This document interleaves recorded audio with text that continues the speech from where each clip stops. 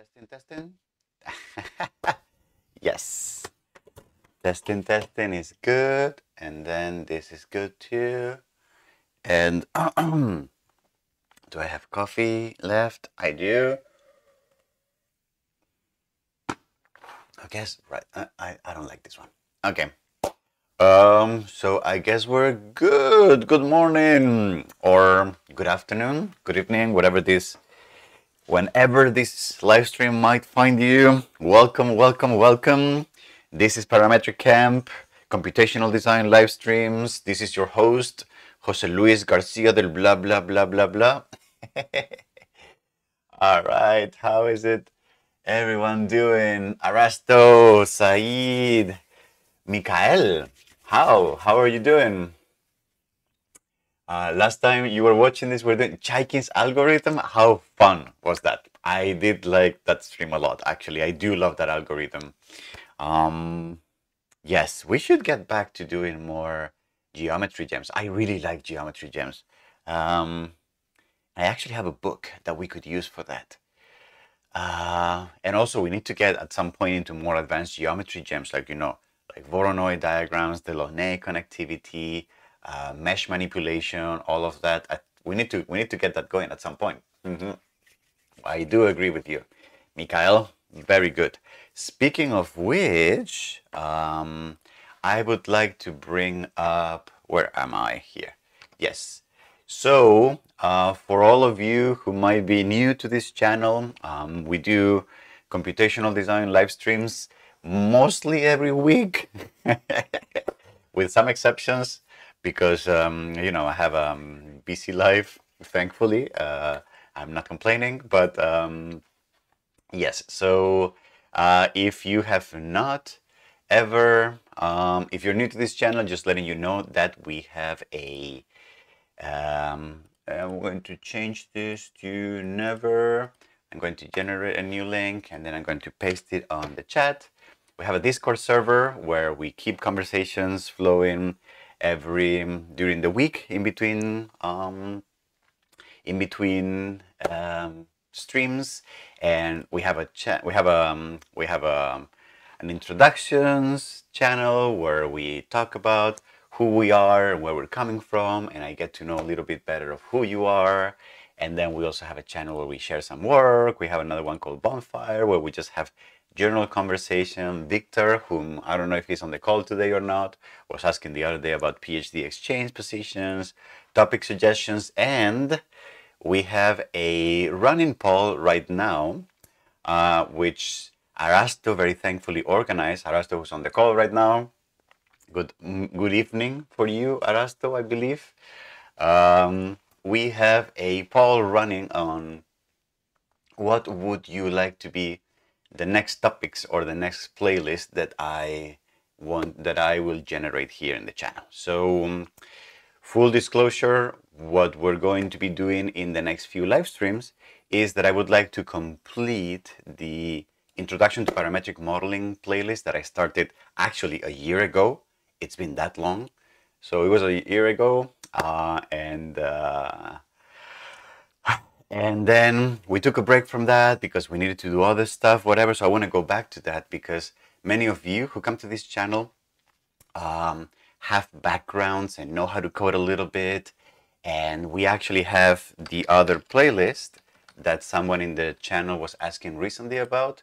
So in the channel, we have all these playlists. We have um, we have uh, algorithmic modeling challenges, geometry gems, coding gems, and we have this playlist called Learning C Sharp, Introduction to Computer Programming for Designers, which is basically a full introduction to learning how to code using the C Sharp programming language and with no assumptions whatsoever. So if you have never opened a single, if you have never written a single line of code, if you don't even know how it works or how you execute or create a program, then this is definitely your playlist. And if you're a designer specifically, and you're into 3D form, graphic design, video games, and all that stuff, many of the examples that you will find in these playlists are specifically catered to this audience.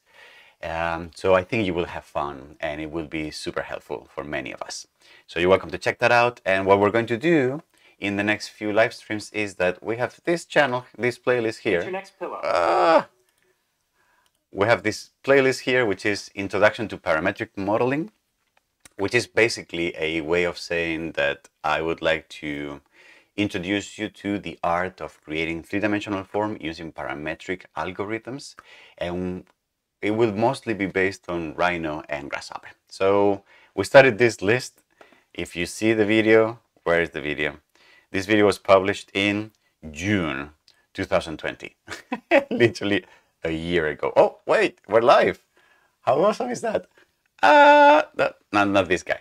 Not this guy. Not this one. Yes. Let me stop that. Yeah, that one. This guy. Hi, Oops. my name is Jose Luis. Oh, yeah. Who's that guy? Sorry. So yeah, so we have that, and I only got to the introduction. So on this live stream, I'm going to get back into recording videos for this. So it's going to be introductory topics on parametric modeling using Grasshopper. And actually, I have news for everyone.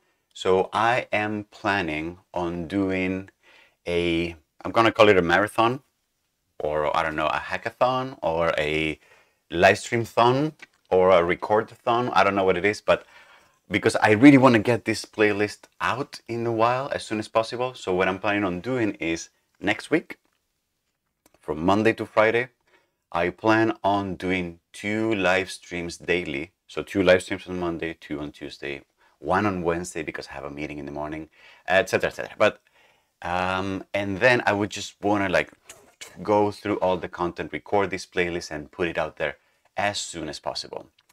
Um, so if you see a lot of notifications on your phone, next week, live stream, live stream, live stream is because I'm going to be recording a lot of these and hopefully finish the playlist. And so that we can move on to other topics, such as, for example, one that I'm very excited about, which is specifically C sharp programming inside of Grasshopper. So, how to create C sharp scripts, um, how to, um, what are the nuances and the things that we need to keep in mind, and then transition into how do we write Grasshopper components and natively, and how do we create plugins for Grasshopper. I think this one is also pretty important for me because it will help me a lot in my teaching at, at the university, but at the same time, because we have done so much Grasshopper based C sharp, I think it will be interesting to um, have a playlist that sets all the foundations so that we can go back now to the rest of the videos and um, and then just like focus on the algorithms and focus on what's cool uh, about programming for computational form without having to go back to the basics every time. So I think that's what you can probably expect in the in this coming month um, in terms of tutorials and content. Um, if you haven't yet, and if you are excited about what you may see in this channel, please consider subscribing. Um, it's helpful for us. Please consider turning on notifications so that you get on your phone or in your mail, you get um, notifications about when we go live. And also, we post a lot of what we do and what we're when we're going to be posting on our social media. So we have YouTube, GitHub, Instagram, Twitter, we have everything. So um, if you follow us, you will be able to you will be able to to be up to date with what we do. Okay? Wow, that was a long introduction.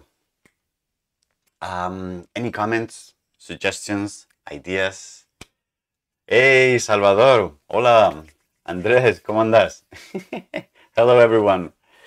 Okie dokie. So,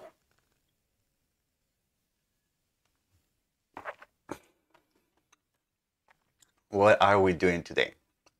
Today, we are starting again with the playlist.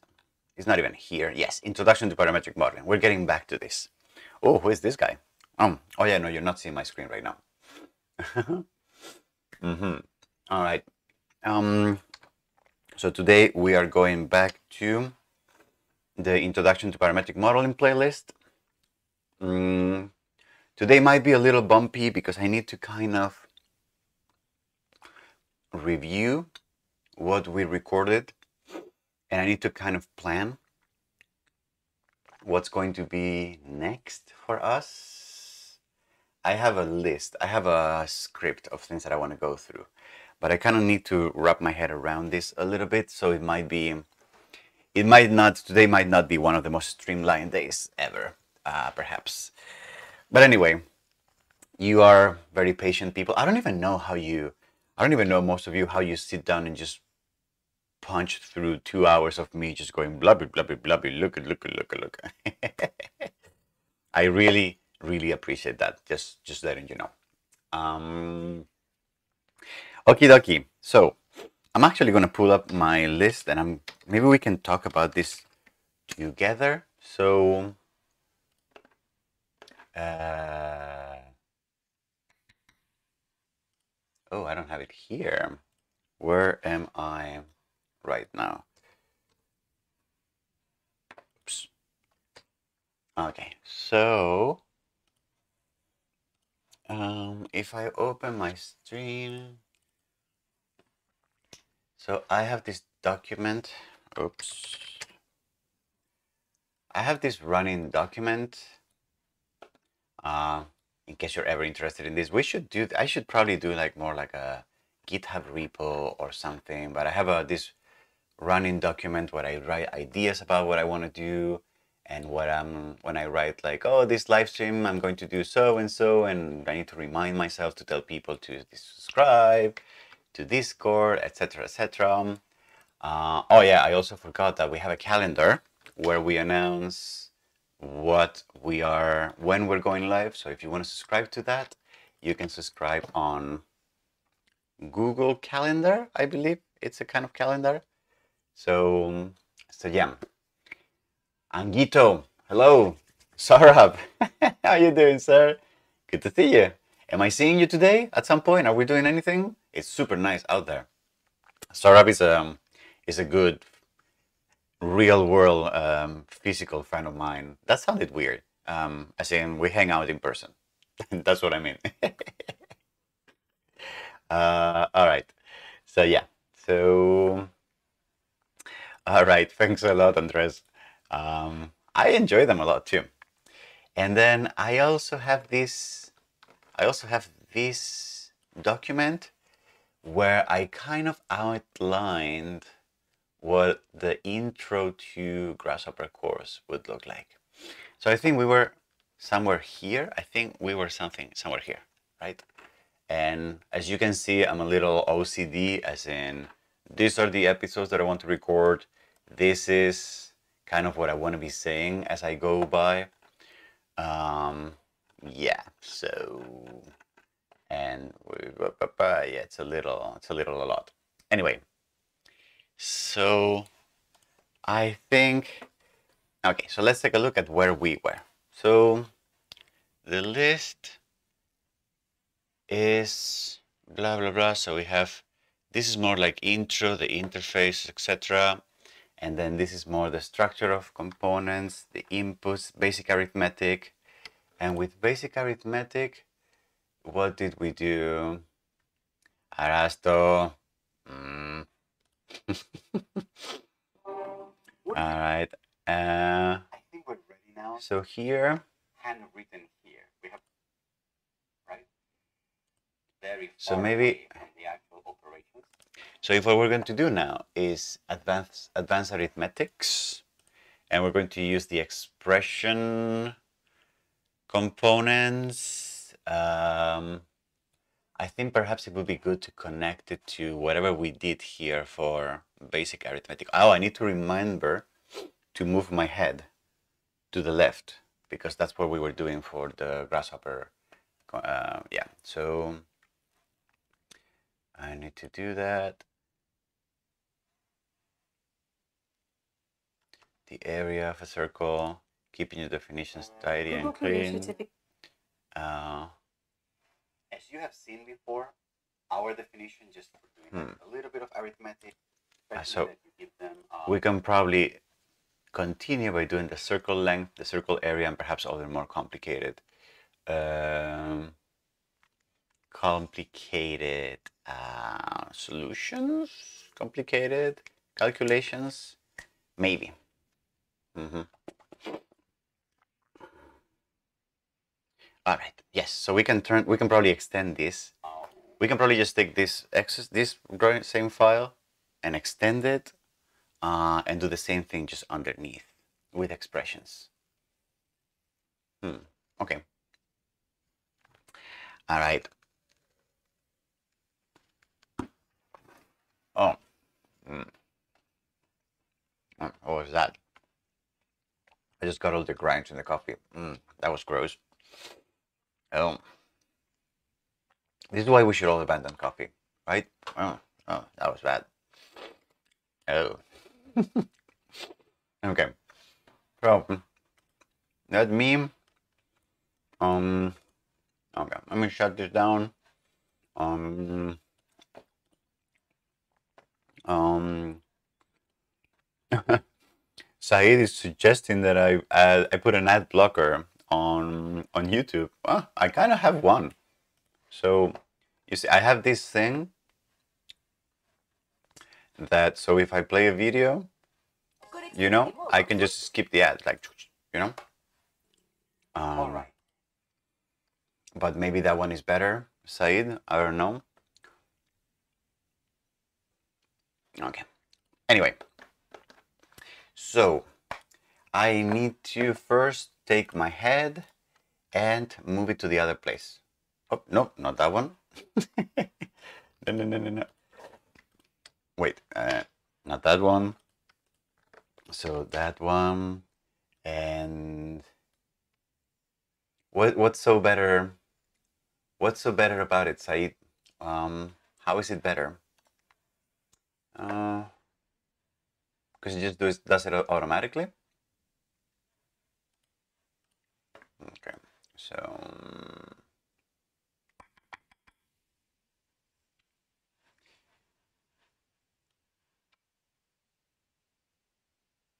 Okay. And uh, where am I going to go? What is the position for that? Hmm. So if this was one eight thousand, okay. Uh,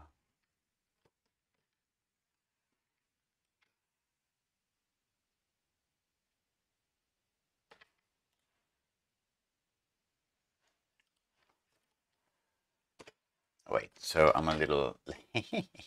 Let me figure this out. Uh, so,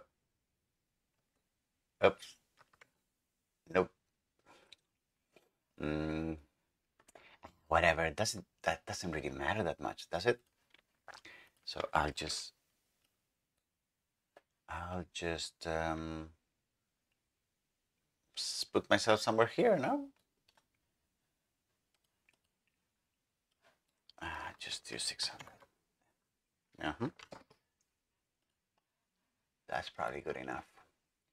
So this is going to be. Oh. Mm-hmm. Oh, I see. Okay. So, okay. Am I here? Am I on the left?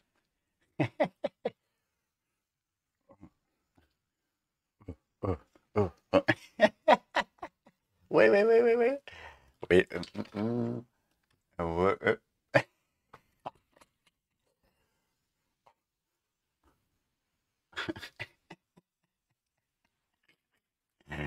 This is fun. All right, fine. I'll I'll stop. Okay, fine. All right, let's get serious or something. All right. And then I'm back here. Yes, and this works. And um, okay. And I need to probably open Rhino, right? because we probably want to do some of that. What is this? AI aided fabric architectural fabrication. A symposium. Oh. Interesting. What is this? Friday. Oh, this looks interesting.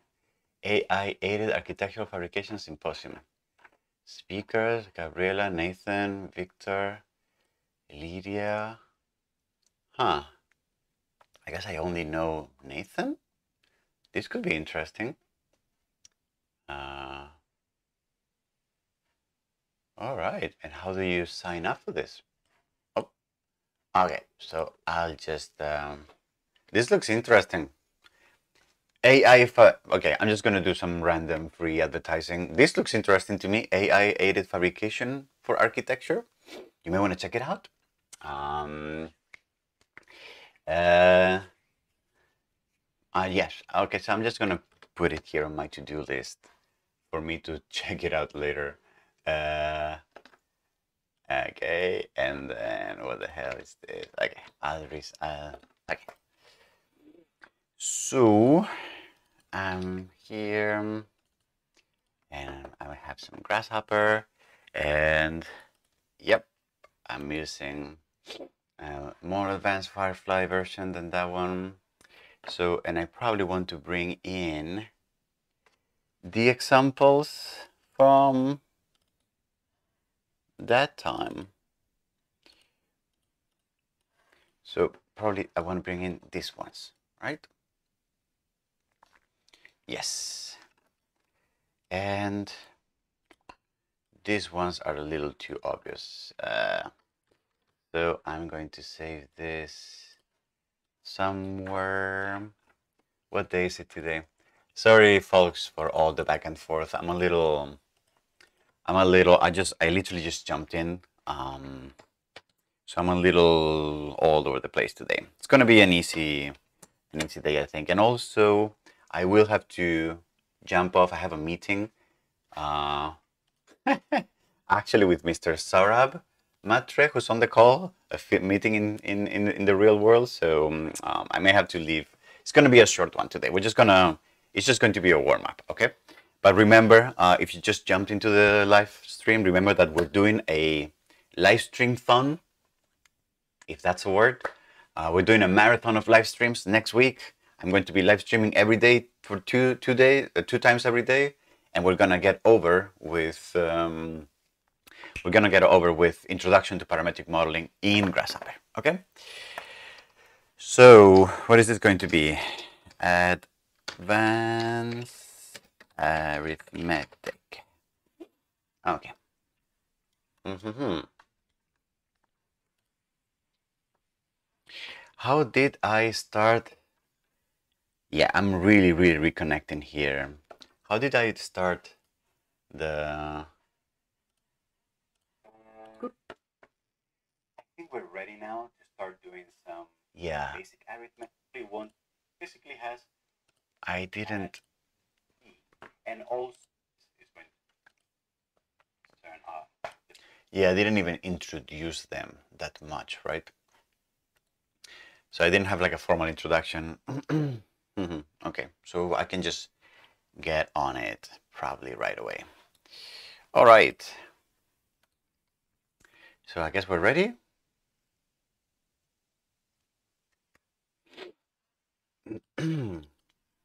and we were going to do uh, okay more complex calculations expressions and sparing control of multiple inputs lookup table. Okay okay. All right are we ready folks? I think we're doing this. Um yes. Okie dokie. Wait. I feel like... Wait, the size of my screen... It doesn't matter. I feel like that one was bigger than this one. Ah, oh, okay.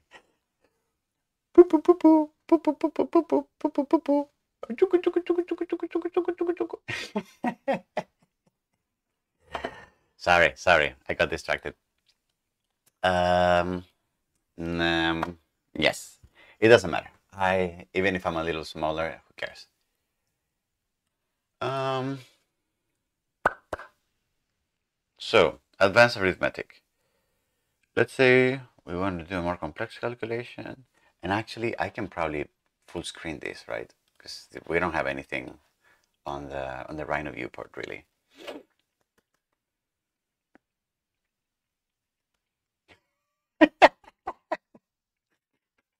Saeed, really?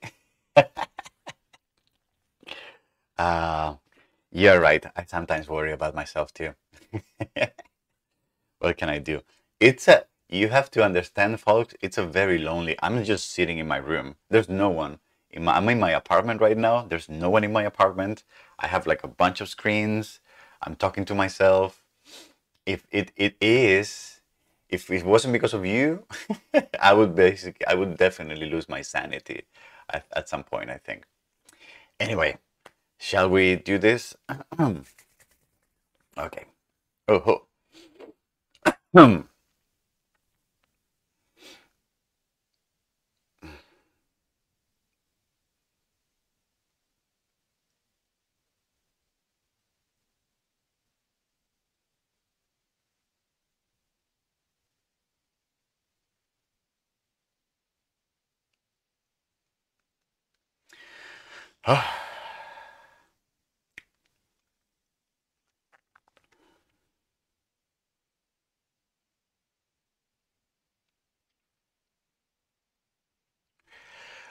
Okay, wonderful. So, so far we have learned how to do simple arithmetic by uh, using simple mathematical operations to add, subtract things. And then we have also learned how to combine them to do more uh, complex arithmetic operations, such as, for example, um, calculating the length of a circle or the area of a circle, right? Um, however, um, in however what? However what? Um,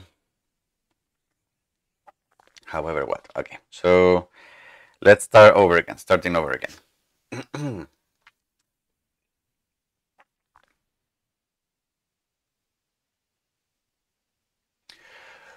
Wonderful. So, so far we have learned how to do simple arithmetic by using the mathematical operators to just add, subtract, multiply numbers together and do a little more complex operations such as calculating the length of a circle and the area of a circle by combining multiple of those operations together, one after the other. Now, you can imagine how depending on the operations that we might be doing, this can get actually really complex. It can get, it can become, they can become operations where we have to chain actually a lot of multiple operators one after the other. And depending on what we're doing, it may actually get a little, you know, uh, messy or busy in our screen. So it turns out that when we want to create more complex calculations, we have a different options. We have different options instead of um, using all these components and chaining them together. We can do it in a more elegant and perhaps even easier to understand visual way than using components. And we have this alternative called using expressions. So if you go to the math to the math tab and you go to the scripting tab, you can see that we have the expressions component. This component is perhaps a little daunting because it's much larger, but what this basic, what this component basically does is that it gives you a way to write um, mathematical equations, if you will. It's not exactly that, but it kind of looks and feels like mathematical equations. So the way this works is that, first of all, you have a set of inputs here, and then you have the window where you can, you can type in your equations. So for example, let's say that I want to mimic the, the, the, the, the calculating the length of a circle. If that's what I want to do, the only parameter that I need to calculate the length of the circle is the radius, right? So what I can do is I can zoom in the component And you can see that as I zoom in, in the inputs parameters, these icons pop up that allow me to add or remove inputs to the component. So what I'm going to do is I'm going to right click on this one and I'm going to change the value of x and I'm just going to type here radius so that my variable is called radius or it could be called r and then I'm going to remove the y because I don't need it. I just need radius as the input. And then what I'm going to do is I'm going to double click here on format and you can see that this expression editor pops up. What this expression editor does is that it gives me a way of typing here mm, with pseudocode, with more of a literal expression. It allows me to write what do I want to do for a calculation. So if I want to calculate the length of a circle, the equation, as we saw before, is 2 times pi 2 times the radius of the circle.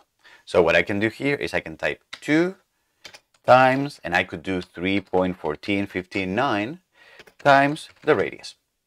Okay, so that could be one way to go.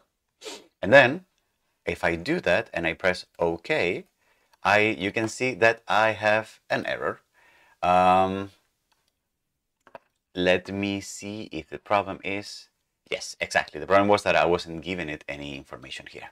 And then if I plug in here a panel, you can see that the result is almost identical to what I had in the previous one. It's not identical because, well, this one is basically rounded here, but I'm also using a manual approximation of the number pi that I just typed. I just hard-coded that. Better than that is using a built-in uh, form of the number pi. So for example, if you see here in the expression editor, you can see that I have a lot of things. I have ways of typing functions. I have ways of typing constants. I can choose operators and I can do simple operators. So for example, multiplication, you can see that is the same. If I click multiplication, the symbol is just the asterisk, right? Or if I press x to the squ 8 square, it gives me like a square operator. So what I can do is I can remove this and I can click here to add the value of pi. And you can see that this symbol pi shows up, which contains a much closer approximation to that value. And now the two values are almost, are clearly identical.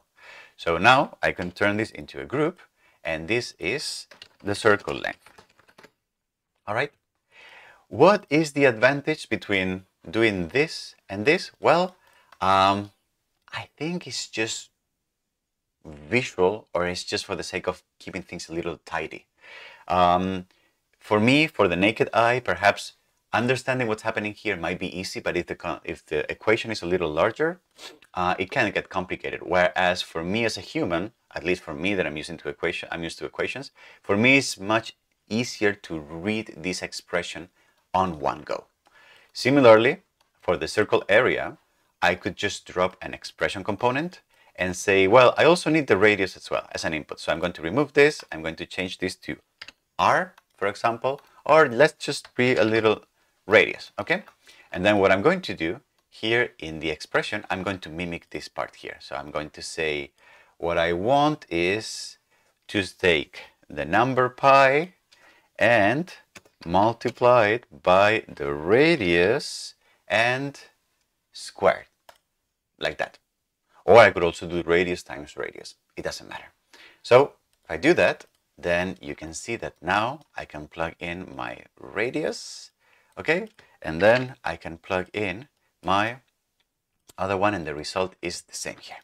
So for me, as a human, this I find this a little more elegant, a little easier to read than this mess of components. And again, this is for a very simple scenario. It can get more complex. Should we take a look at a more complex example?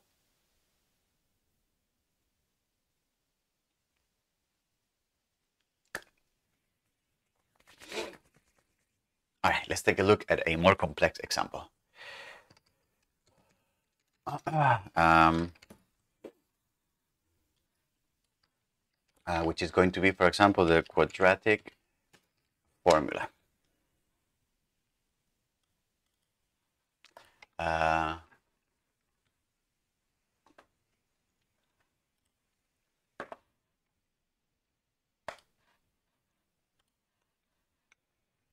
uh-huh. I think I like this one. Uh, or do we have a Wikipedia, perhaps, version of this? Yes. Uh, we have a Wikipedia version of this. Mm -hmm.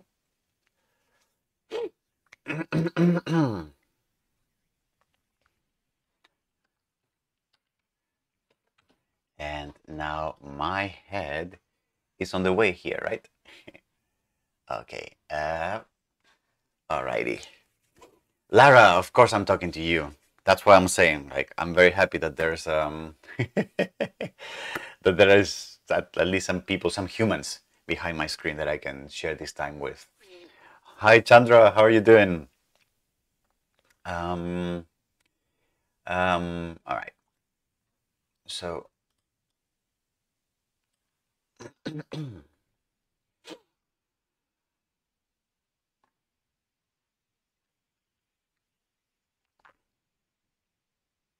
right. Uh, we could also do what the the area of a sphere. Um, four times. This is not really more much more complicated.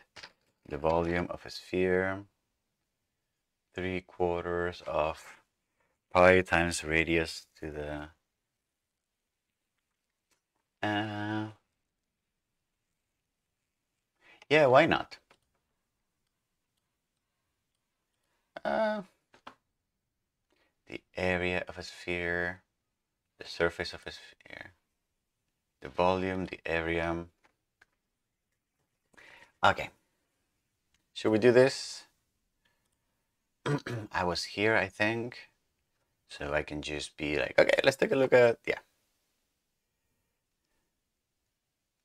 Mm-hmm. Andres, what, what is that equation you're writing there? Are you messing with parametric chem classes? and erase that off?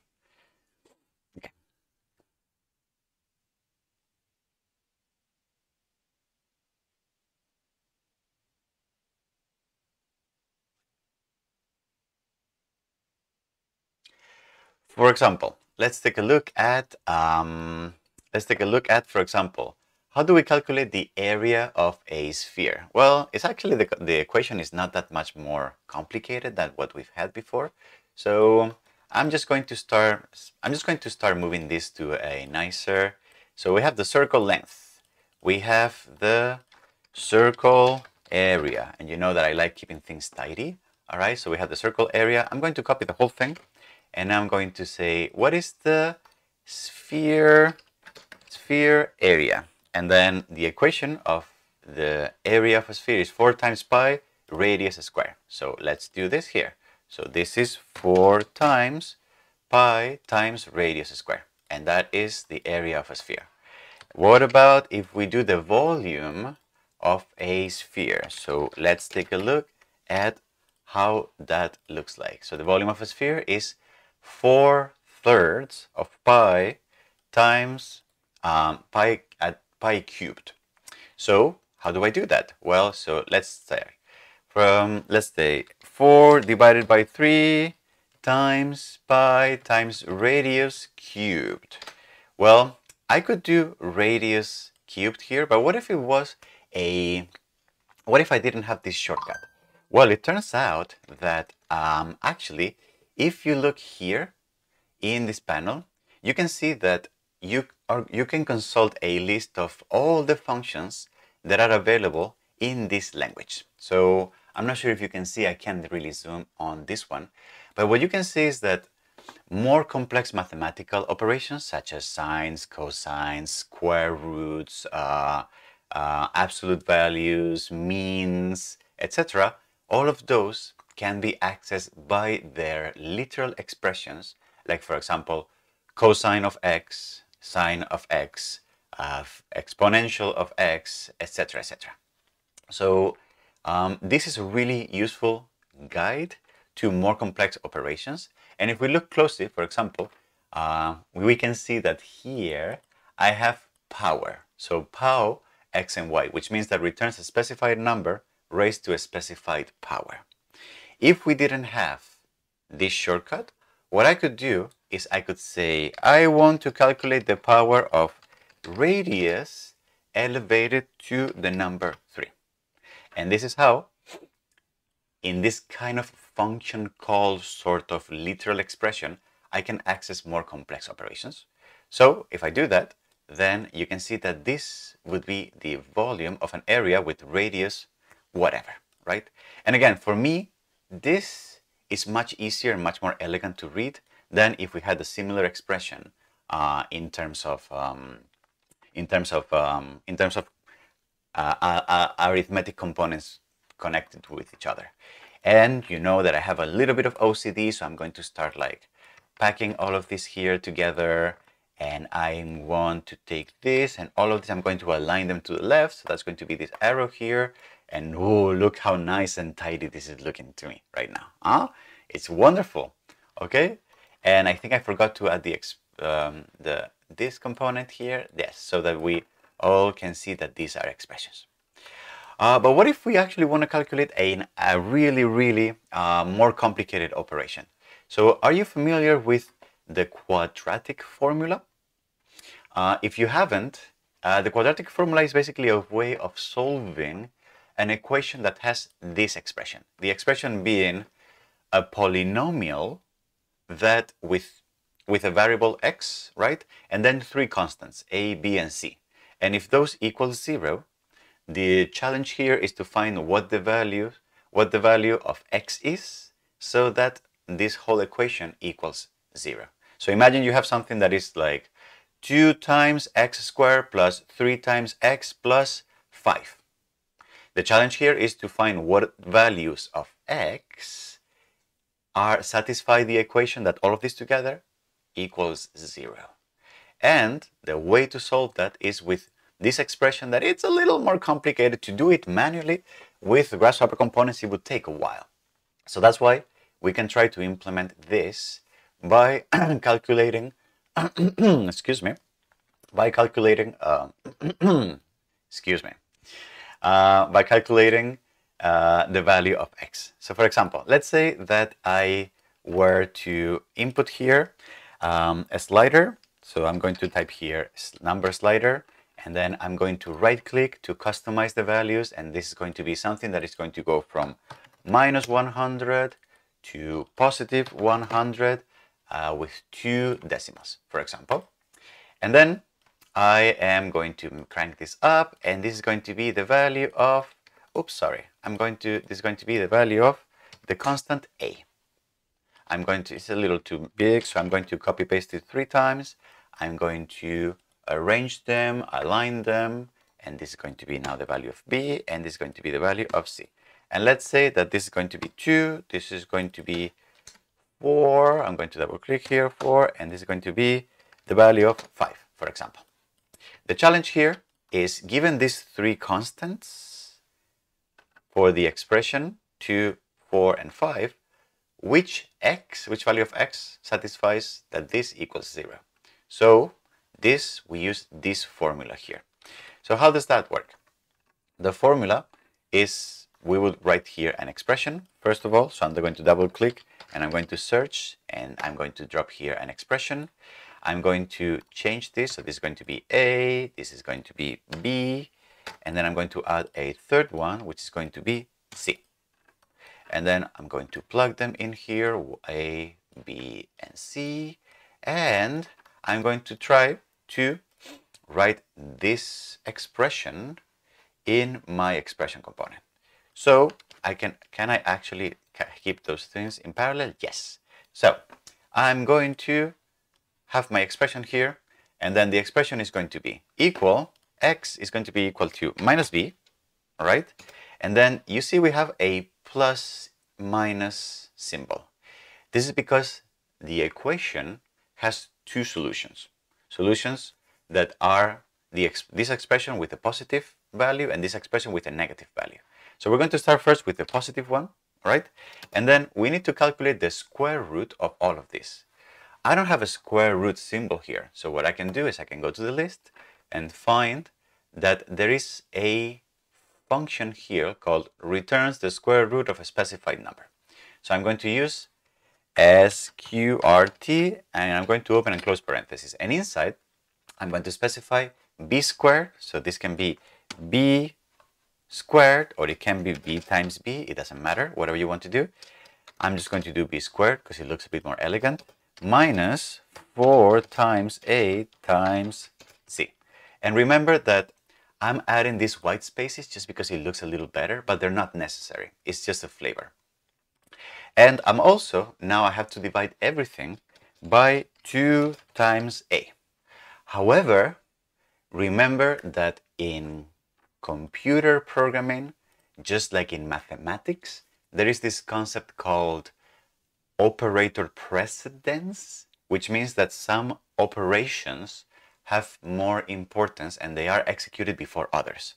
So if you remember from math class in high school or school, or wherever you did that, you might remember that multiplications and divisions have precedence over additions and subtraction. So if I were to write this like this, what would happen is that this square root would be divided by 2 times a, and then all of that together will be added to minus b, which is not what I want. What I want is this whole thing to be divided by 2 times a. So that's why I need to remember to add a parenthesis here and add another parenthesis here so that I force all this chunk together to be divided by 2 times a. As I do that, I have my expression here, which imagine what this would have entailed to do manually with just components. All right, and then I'm going to paste this here, and this is going to be not a number because um, I actually don't know what's going on. Why is this not a number? Let me check this out.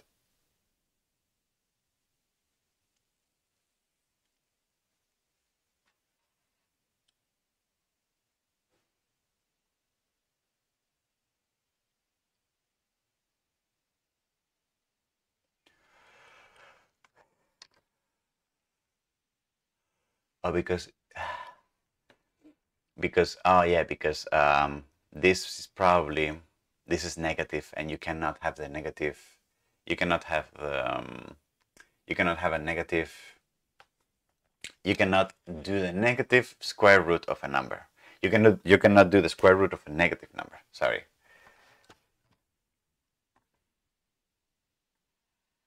Okay, so um, Oh, Lara, that's so sweet. Thank you so much. Thank you so much.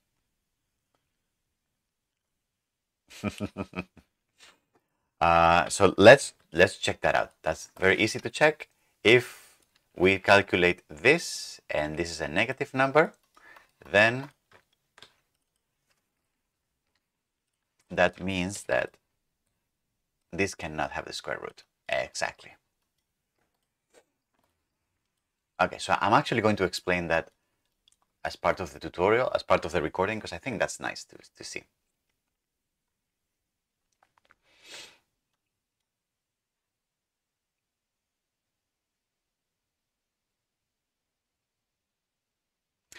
Oh yeah, um, very simple. I had totally forgotten.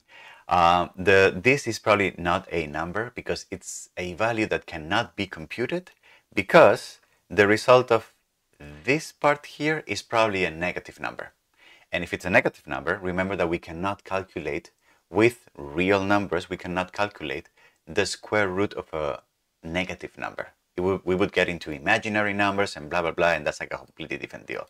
To make sure that we check if that is the truth, I can just copy paste and I can change this expression to just calculate what's inside of the square root. So just that. And if it is a negative number, you see, then this will be not a number. And as soon as I modify this to make it a positive number, you can see that we immediately we get the result. You see? So I'm just going to say, for example, this is going to be minus 10. All right. And now this is going to be one of the results. Wonderful. And what about the other one? Well, the other one is going to be the exact same one, but negative. With this part, sorry, this part is here is going to be a negative number. So that's going to be this one here. And maybe for the sake of simplicity or visual, I'm just going to plug both into the same. I'm, I, I'm not going to do that. So never mind. So I'm just going to have the two results here. And this is going to be the quadratic formula. All right. And these are going to be the inputs. Wonderful. So this is great. So this is the way that I typically like to do more complex arithmetic. I like to use the expression component. I barely, if to be honest, I barely use uh, any of the regular mathematical operators anymore because I just liked the elegance and how easy it is to read and to write this expression and also the power that I have to more additional components and more additional functions that I don't have in the Grasshopper toolbox. So um, this is the way we do advanced arithmetic in Grasshopper. Um, so thanks a lot and let's take a look now at other topics. For example, how do we make actually basic geometry inside of Grasshopper? Let's take a look at that. See you in the next video.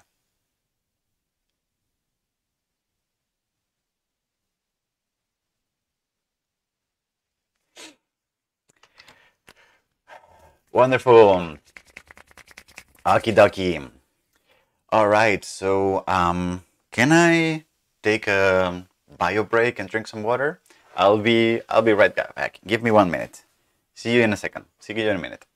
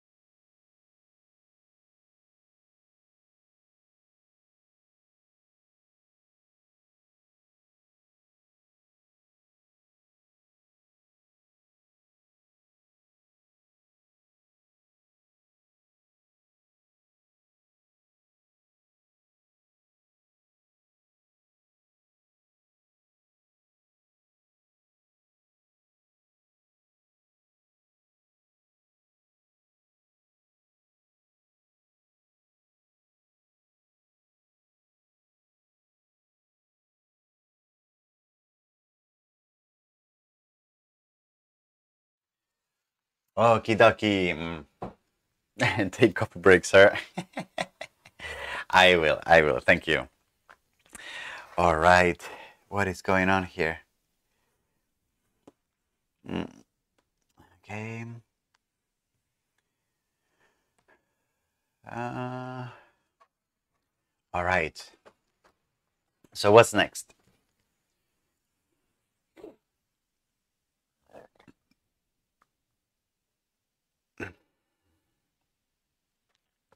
All right, so what is next? The next thing that we're going to do is, so we got this one, 3.5, and that's done.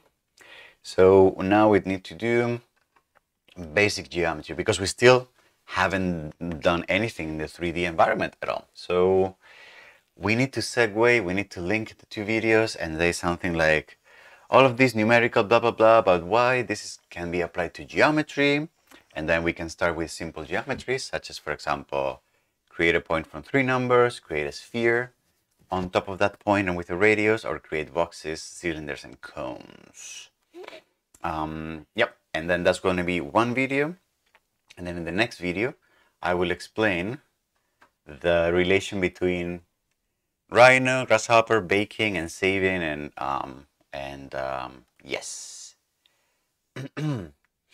I think that's, and that's probably going to be enough for today, I think.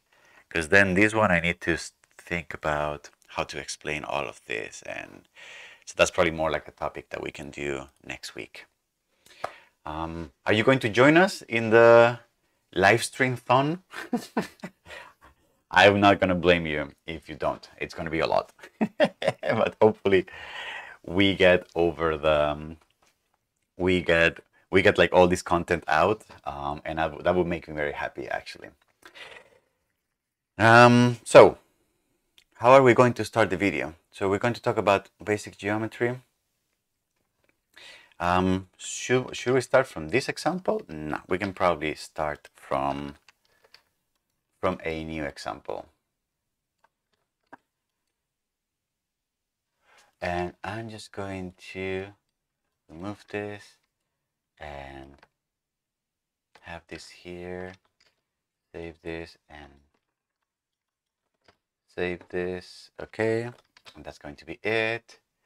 And then I'm going to drop some bifocals here. All right. And then I'm just going to start talking about why are we doing all of this? And I'm going to start talking about the previous videos.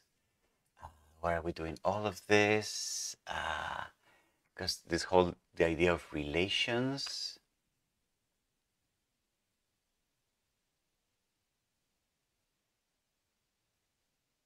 Hmm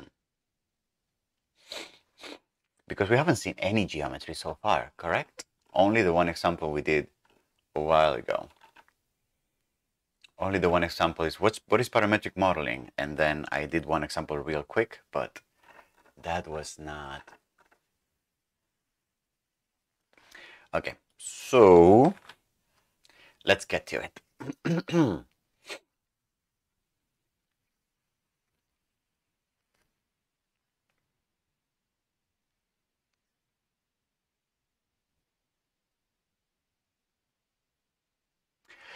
On the previous videos in this playlist, we have seen examples of how to create relations between data and between the, which is for starting over, starting over.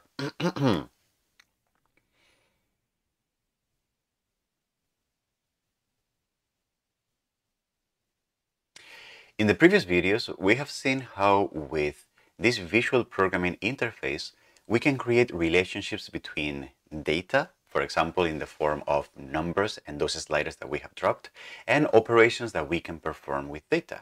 Like, for example, these numerical operations, adding those numbers, subtracting them, or creating more complex uh, equations with them. Now, why is this important or why is this relevant? Well, it turns out that uh, here in the Rhino and in the Grasshopper environment, it turns out that, uh, uh, uh okay, we're starting we're starting over, starting over. Um, we're starting over.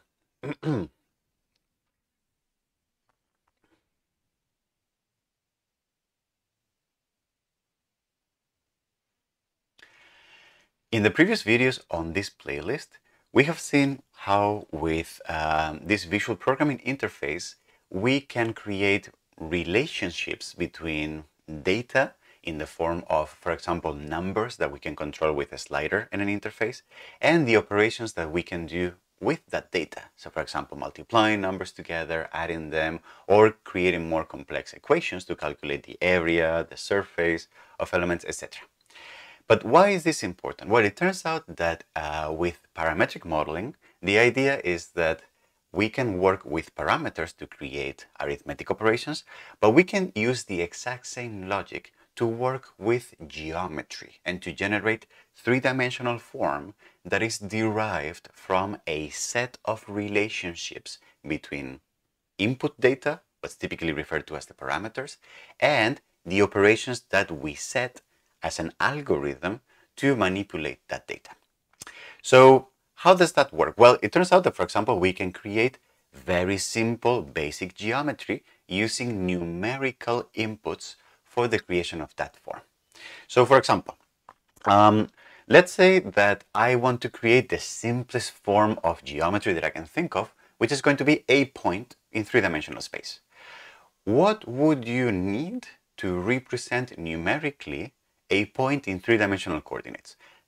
Probably the only thing that you need is the numbers that represent where that point is in the x coordinate, in the x direction, the y direction, and the z direction the triplet.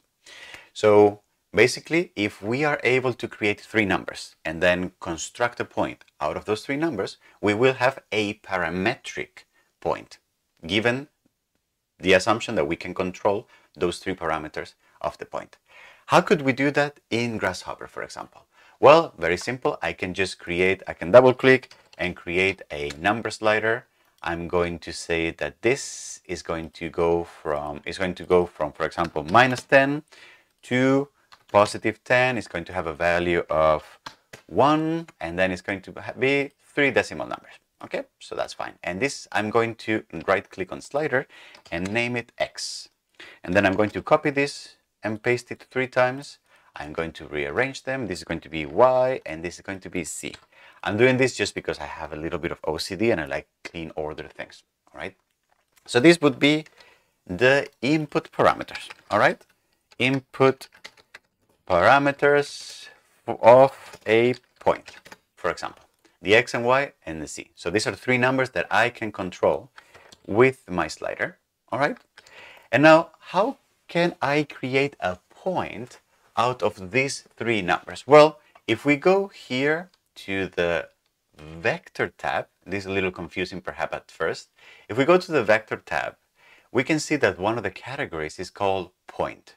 And if we drop the point, we can see that there's a lot of operations that I can do, that I can use to create, to measure, or to deconstruct points even. Uh, the first one, the most obvious one, is constructing a point, as you can see from the description, from XYZ coordinates. And if I click here and I drop this component on the panel, you can see that I have this icon that says uh, XYZ turn into a point, and I have three inputs, X, Y, and Z.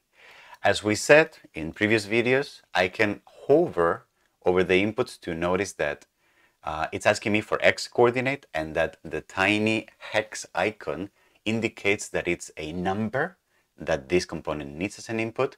The same is for Y and the same is for Z. And you can also notice that here the output is uh, the actual point as a geometry object. And you can see that the hex icon is telling me that it's, with that cross, is indicating that it's a geometry object of the form point. So if I now put this one here, control this one here, and excuse me, and I plug the third one here, you can see, and if I double click and I add a panel here, you can also see that I have a point. I have created a point that has three coordinates, one, one, one, and the coordinates are here. But also, and most importantly, you can also notice that in my Rhino viewport, I have now this tiny red cross that represents a pre-visualization of where that point would be in three-dimensional space. Okay? What's very nice is that I have a geometry entity here, but it's controlled by parameters that can change. So this is a fully parametric point only because I can control it with parameters that might change. And therefore, the location of this point will change depending on the input parameters. All right, so this is great, but honestly, I can also have a point here and I can also drag it, where's the gumball? I can also drag it in 3D space. How is this any different than having a point in Rhino? It doesn't really make a lot of sense without all the effort. Well, maybe for a simple point it doesn't, but you can get a little more elaborate than this. So for example, let's say that instead of a point, we wanted to create um, a sphere, all right? A sphere uh, is a surface object. So I'm going to go here to the surface tab. I'm going to go to primitives and you can see that I have a bunch of simple 3D objects, boxes, cones, cylinders, and spheres. And actually I have four ways of creating spheres, which is kind of uh, cool. So I'm going to leave it up for you to explore the four different ways. I'm just going to go here for the simple one, which is a sphere, which if I drop here, you can see that I'm going to read and the inputs. This is a very good practice to do. Let me first read what this sphere needs as data, and then let me see if I can feed it to its, uh, I feed it. So here, on the B, it says that it needs a plane, all right? And then on the R, it says that it needs a radius.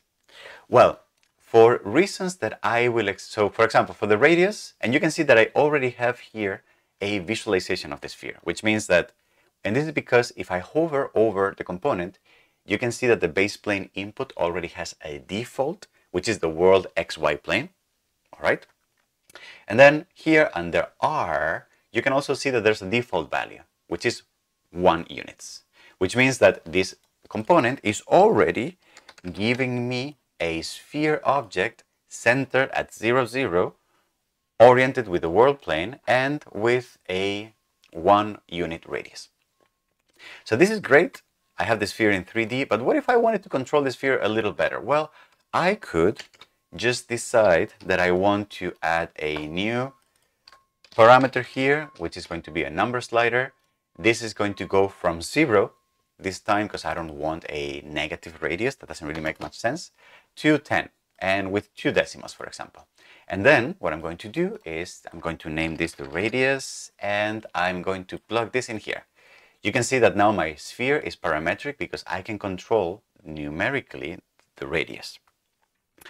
But I can also control where the center of the sphere is by connecting the center, the point, to the input base plane. If I do that, you can now see that the sphere is linked to the point that is changing in three-dimensional space and because this point is changing on over my initial parameters then the point is controlling the location of the center of the sphere and therefore I have full control of where the sphere is in three-dimensional space and its size via the radius. So I have the four parameters that completely define where and how big this sphere is. It's a fully parametric sphere.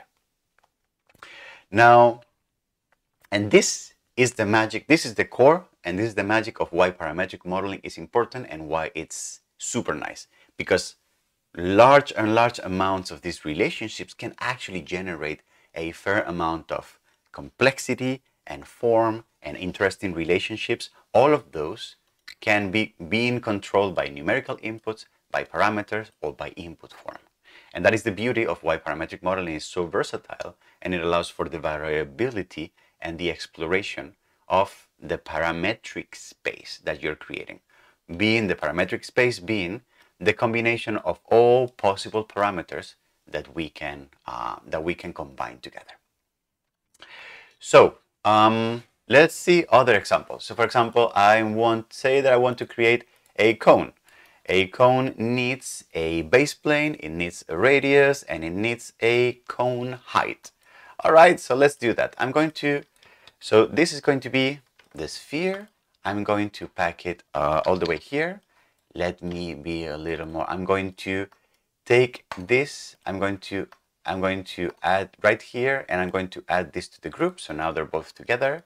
I'm going to move this a little here, and this is going to be my sphere creation, for example.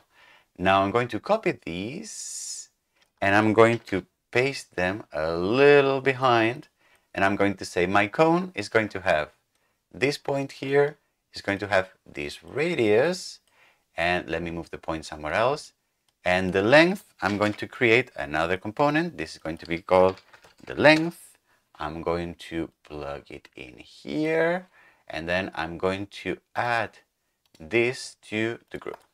All right. So now I have a new point. I have two points. One is the sphere one. The other one is the cone one. You can see it here. And I can control the location of this point. I control the radius of the cone. And I can control the length of the cone. All right. One thing I would like you to notice, or uh, uh, let's let's just keep it there. All right. And then this is going to be the cone. Or for example, I may want to create a cylinder, right? Well, the cylinder is going to be pretty much the exact same thing. I'm going to copy the whole thing and it's going to be the, I'm going to copy here the point. I'm going to pass in these parameters here and then I'm going to use this point at the center as the center of the cylinder and then this radius and then this length. And as I move the cylinder somewhere else, you can see that I now have this cylinder that is also fully parametric. Control absolutely parametrically. Okay. I have the three objects. Each one of them independent. Okay?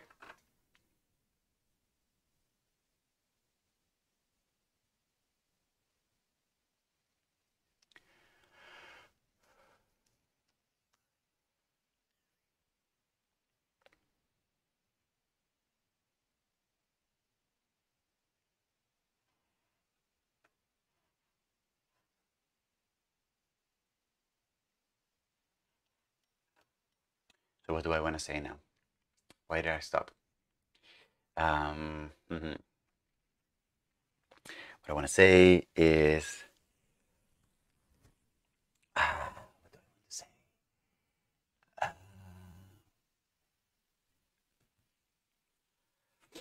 Uh, how do I want to wrap up this video? Um,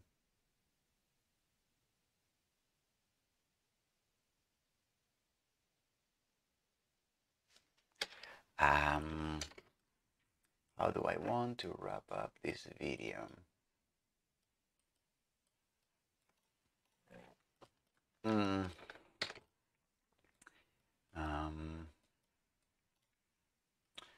how do I want to wrap up this video?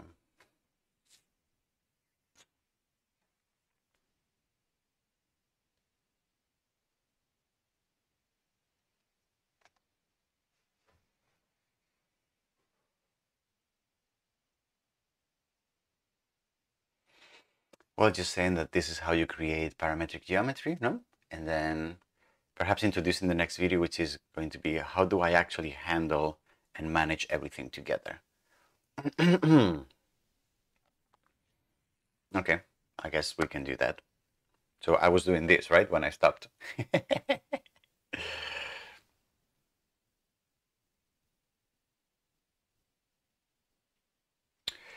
so this that you just saw here is how we create basic parametric geometry. Remember, it's all about defining input parameters and it's all then about defining the sequence of relationships that lead to the generation of a particular form. In this case, because we have used very basic geometry, it's actually quite straightforward. It's just as simple as creating for the sphere, first creating a point that represents its center. And I've actually, I've actually kind of skipped through the fact that the sphere takes as an input a plane object. And you can see in the hex icon that this is a plane, whereas we're actually giving it a point object, which is two different kinds of geometry. But the thing is still working actually. So I will explain why that's the case, why sometimes, depending on a particular conditions, how, why you can switch different types of geometry and where and how can you give a particular type of geometry to something that is asking you for a different one. Okay, I will. We will see that in further videos down the road. But in the meantime, um, this is just how you create basic geometry. We will see in further videos how we can well, how can we create more complex objects with NURBS surfaces and much more uh, complex operations that generate more intricate form and more interesting and elegant, perhaps, geometrical objects. Um, all of them fully controlled parametrically. Now, before we wrap up, uh, in the next video, what we're going to do is I'm going to explain to you actually, now that we have some parametric geometry in Rhino, what happens? So what do we do with this and how do we bring it out from Grasshopper into Rhino and what is the relationship between Rhino and Grasshopper? How can we use this and export this somewhere else? So let's take a look at that on the next video. Thanks a lot.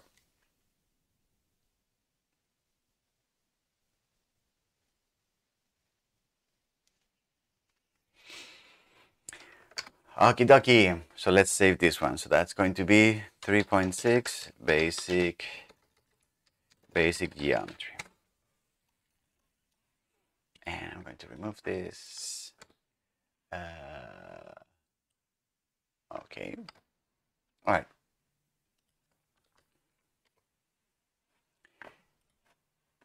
I can probably remove this. And so that's basic geometry. And now in this, do I need the,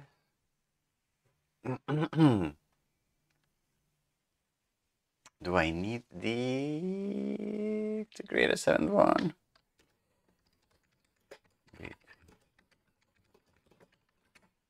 We can do it just just in case. Mm-hmm. Okay, I think this is going to be the last video, and then I'm going to go grab a quick bite um, and jump on meetings.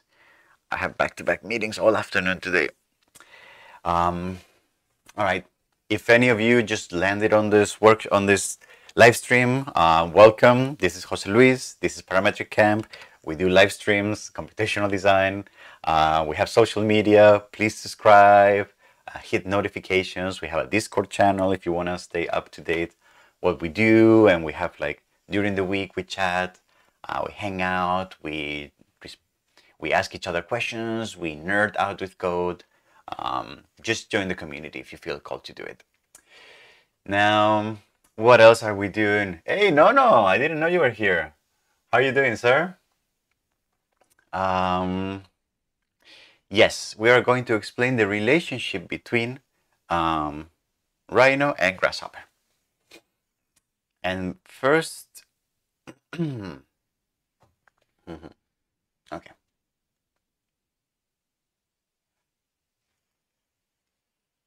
Okay, so what are we going to do?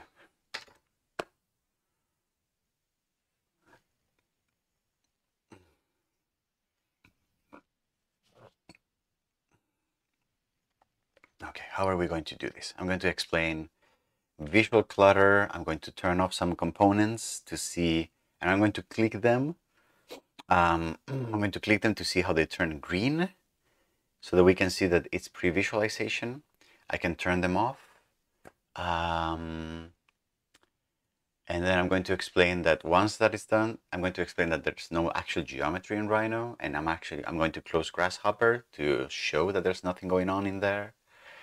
And then, uh, and then I will explain baking and how when we bake, we lose the relationship. And then I will explain saving files, which is also important. Okay.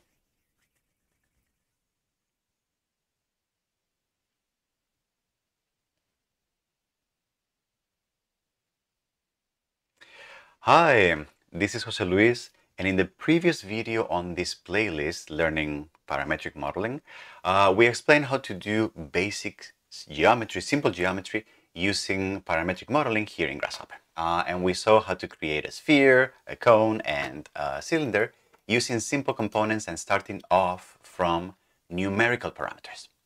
Now, what I want to explain in this video is that you can see how just for three simple objects, a sphere, cone, and a cylinder, we already have quite some stuff going on here. And uh, my point here being that uh, very soon, as soon as the complexity in our grasshopper definitions, remember the definition is the file that contains all these components. As soon as the complexity starts growing, we're going to start um, going into what's called spaghetti mode, where we basically have so many components and so many wires connecting them that there is a lot of clutter and there's a lot of stuff. It's very difficult to manage. That's why I make so much emphasis on grouping things properly and giving things names to things so that we avoid the visual clutter. But the visual clutter will not only be on Grasshopper, it will also be here on the window. Because as you can see, we already have like six geometry entities. So I can see the surfaces, I can see their, their center points. And arguably, when I am designing, I may not always want to have all the geometry visually here on the screen. So what I want to make sure that we understand is that first of all, whatever we have in Grasshopper, it's always going to be just a pre-visualization. Okay? What that means is that this sphere, this point, whatever, they're not real geometry in Rhino, and I will explain that in a second. There's just a pre-visualization of what it would be whenever I make, I transfer that geometry from Grasshopper to Rhino, which again, we will see in this video. Um, it's just a pre-visualization, and actually, for example, if you see me close Grasshopper, you see that everything just disappears because um, it's just not, it doesn't exist, right? And if I turn Grasshopper again, everything comes back in. So that's one thing. We still, we have a parametric definition, we have ways to work with all this geometry, but the geometry is really not there yet. And also if we have too much geometry, may, we may actually want to turn things on and off. So for example, um, arguably the points that I use to generate these surfaces are not very important because um, uh, what I actually care is about the surfaces. So how could I turn them off? Well, first of all, they also another thing to understand is that Grasshopper has a way of highlighting what every component by default will show up, whatever geometry for every component we have will show up on the screen, on this one here. Um, but if I, and but sometimes I may not know if I have many sphere components, which one is which. So what I can do is I can actually click on the components and you can see that the surface or the geometry that corresponds to that component will turn green as a way of understanding that this particular component represents this geometry. And this point here represents this green point that we have here. And this cone here represents this surface, and this point here represents uh, this, this center here. Um, this one here represents, and this one, this point represents this one here. If you are colorblind, uh, or if you have problems seeing between um, red and green, there's actually ways here to change the default colors that uh, are assigned to normal geometry and to selected geometry. So you can customize them here in this, um, in this panel. So that's one thing. If I have a lot of geometry, just by clicking on it, I can see which one corresponds to which component. And the other thing that I can do is I can basically just turn off the visualization of geometry that is not important for me. So for example, this point might be a little annoying or if I have too many of them, I can just decide to not show them on the screen. The way to do that is by clicking on the component and then clicking with the center mouse wheel button, all right? And then choosing to use the, uh, whatever, the eye blind, the mask kind of icon to disable the preview of the component, okay? There's two ways of disable. You can disable the whole thing so that the component does not work this component is not producing points anymore and therefore the sphere is also not working. This is not what I want. I want the component to work internally. I just don't want to see it.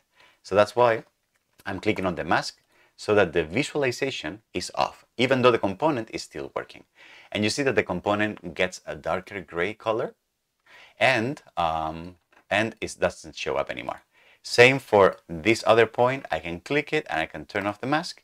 Or for example, I can click the component and I can choose, if you go to, um, I don't know, here, yes, no preview. I actually don't know, but I know that the shortcut is Control Q to disable automatically the visualization. So I'm pressing Control Q to turn it off and Control Q to turn it on again with the component selected. And the same for the sphere. I can disable the sphere by pressing Control Q disable this one and disable this one. Again, they're still there, they're just not visually represented. So I can just keep, for example, the sphere or the cone or the cylinder, all right?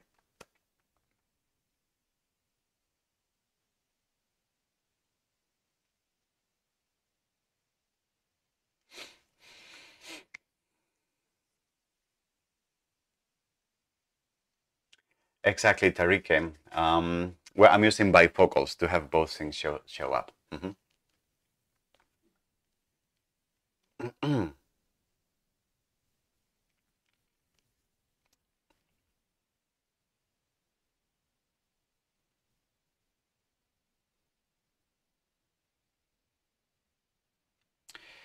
so what am I doing now? Um, what am I doing now? I am, uh, what are we talking now?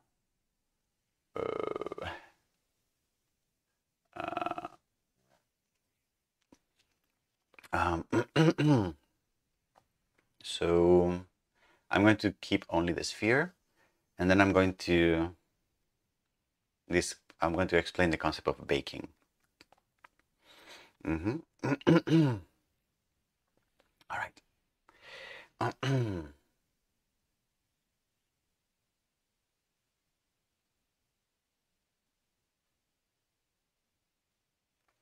Okay, so just to make sure that uh, we focus on the right stuff, I'm going to turn off the cone and the cylinder and I'm going to keep the sphere, all right? And as I said before, um, the thing with Grasshopper is that I work with a pre-visualization here. This is not real geometry in Rhino yet. But let's say that I have worked with this like really nice Grasshopper definition, has like tons of complex geometry relationships, etc. And I have like the final form that I want, the perfect sphere. I have mastered the perfect sphere and I now want to be able to, I don't know, send this sphere to my client or uh, make a nice rendering with this sphere or send it to a competition, whatever that is. I want to make sure that I have a way of taking this geometry that is like the finer perfect form that it's, uh, or, and put it in Rhino so that I can start manipulating, exporting it, and doing whatever I want to do with it. So the way to take geometry from a grasshopper definition and make it permanent in a Rhino file and then use it whatever else you want is by following a process that is called baking.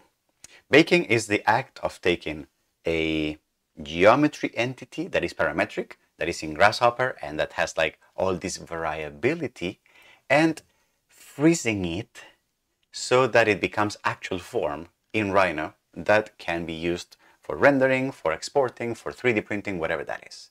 The way to do that is you go to the component that has the geometry that you want to bake. So for example, this sphere here, and you right click on the output that you want to bake. So for example, the S, and you click on this icon that has the fried egg, the baking. When you do that, you select which layer you want to send the geometry object to. And if this component had multiple spheres inside of it, which we will see very soon, you may want to choose to group all of them together so that you don't have like a thousand different spheres and you have to click each one of them independently. We'll see that very soon. I, as I press OK, what will happen is that all of a sudden I have this new thing going on here. I'm going to right click on perspective and show, for example, rendered so that I can see a rendered visualization of my sphere. Or I can say, for example, I like ghosted a lot. And you can see that now this has a different quality. I have these surfaces, I have these iso trims, all right? And I can actually now click on the sphere. You see? I can actually click on this thing and this is actual geometry now that is living in Rhino. And if I close, if I close my grasshopper, you can see that now I have a sphere that is ge real geometry that is living in Rhino. Okay, so that's great. So I have been able to take my sphere and to bake it into a geometrical entity in Rhino. However, we need to remember something very important.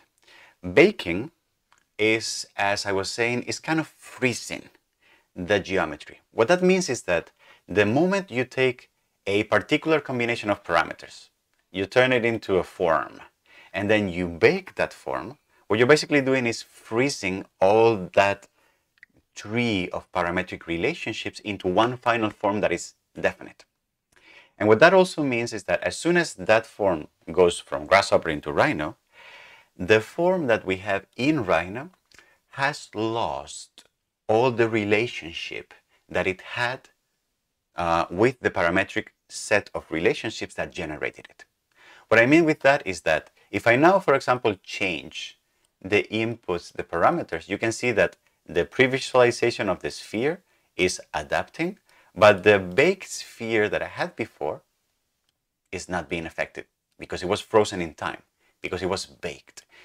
It, this sphere here is the footprint, if you will, of how the parameters were when I decided to bake this sphere. But as soon as I bake it, anything that I do afterwards to that sphere does not affect anymore this actual uh, frozen baked geometry that I have in Rhino. They lose that relationship, okay? So baking, in a way, is like printing. You bake whatever you had, you print it, and then that cannot accept any more changes or any more parametric relationships. Okay, that's very important to understand. Um, but what's beautiful about this is that now I can use my grasshopper definition as a way to generate multiple versions of my sphere. So for example, I can now bake another one and I can just have it the second sphere. Now I can find like a third uh, way of like, oh, this is another sphere that I like, so I'm also going to bake this. And now I have a third sphere here, which is kind of great, etc., etc., etc.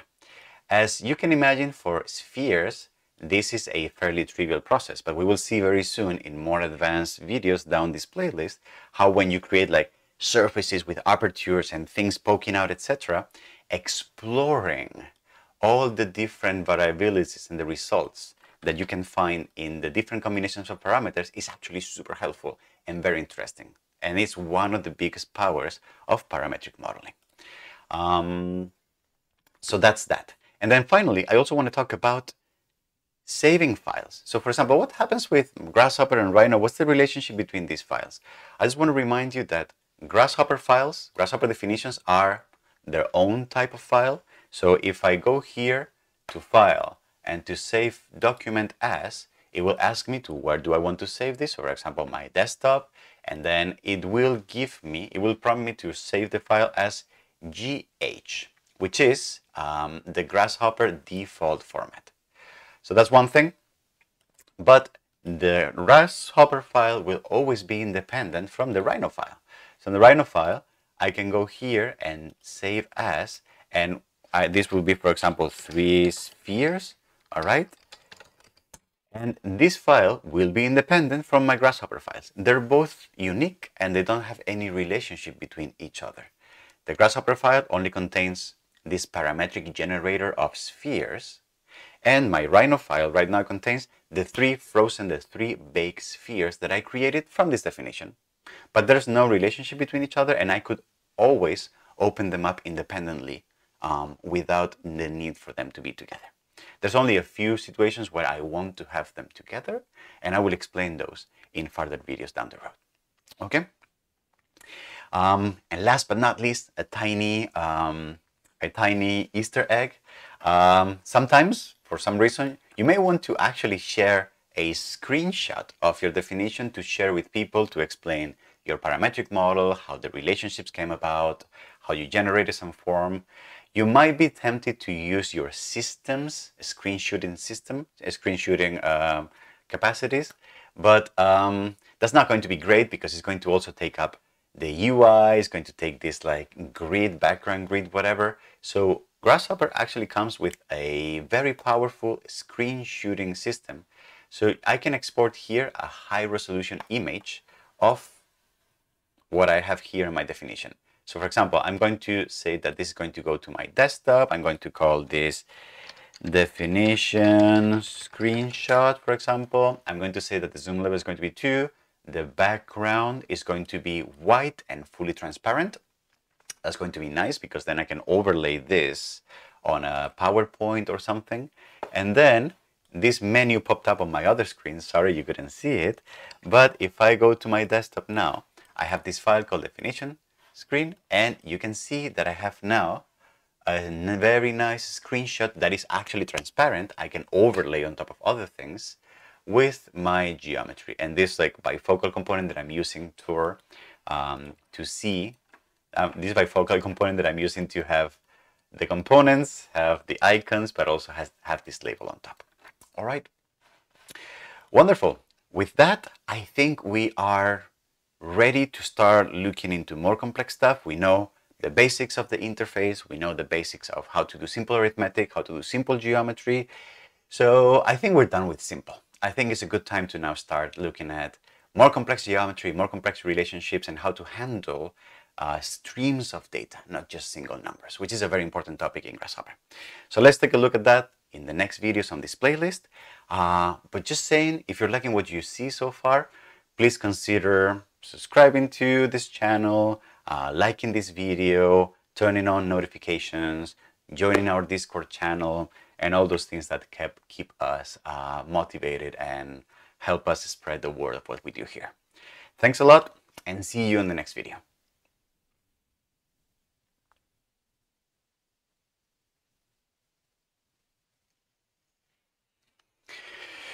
Yoo-hoo! Alrighty. Well, I think with that, I'm ready for, I'm done for today. I have 20 minutes to grab some lunch and jump into a 12 o'clock meeting. Uh, thanks for being here as usual. Um, and um, Said, the next video is uh, there's no next video. We're still recording. We're recording videos. This video, this video will be recorded and will be put on the playlist. And then when somebody's watching the recording that I just did, there will be more videos afterwards. But there's no next video right now. we are recording those videos right now. Remember that this video that I these videos that I just recorded will end up on this playlist here um, the introduction to parametric modeling playlist that we're working on right now. Okay. Um, I have a few, I have a couple minutes for Q&A, questions, anything you may want to chat about. Um, we can do it right now while I check uh, some notifications that I have going on here. Okay. um, I know, just kidding. All right. so you were messing with me, Said? Mm-hmm. All right. Duly noted. Duly noted. Thanks a lot, Salvador. Muchas gracias a ti. Eh, and, um, all right. So, when we can do C-sharp coding inside Grasshopper, that's going to be the next playlist. Arasto, we're finishing basic Grasshopper first, and then we're starting C Sharp in Grasshopper for scripting and for the creation of plugins. Okay? Why would we want to use when we can? Ah, all right. if we can use C Sharp, why use regular components? That is a wonderful question. Um, to which I'm only going to say that regular components are a really good introduction to the art of parametric modeling, but as soon as you know what you're doing and you want to get better at it, you should definitely do the jump to C sharp programming in Grasshopper. I am absolutely right. I, I absolutely uh, agree with that. Um, okay, with that, I'm going to call it a day. Thank you very much, everyone. It's a pleasure. Um, for those of you who might be interested and can make it, Remember, uh, we are starting a live stream thon or a recording thon or a hackathon marathon, whatever that is. We're starting next week uh, a live stream thon, and I'm going to be record. I'm going to be doing two live streams every day, Monday to Friday, and recording more of these videos and trying to wrap up the playlist. So if you can make it, um, and even if you are maybe if you're already familiar with the basics of Grasshopper, Maybe you can be doing your own thing and have the video in the background and maybe some concepts on some topics are things that you may want to refresh or maybe I drop a couple of things that you didn't know before. I don't know. Or also maybe you can help me while I'm recording the videos to highlight things that we could add to the particular video and make it better. I it has happened before and it will definitely happen in the future and I'm very much appreciative of that live input. Thanks everyone. Have a good weekend and looking forward to seeing you again very soon. Bye bye.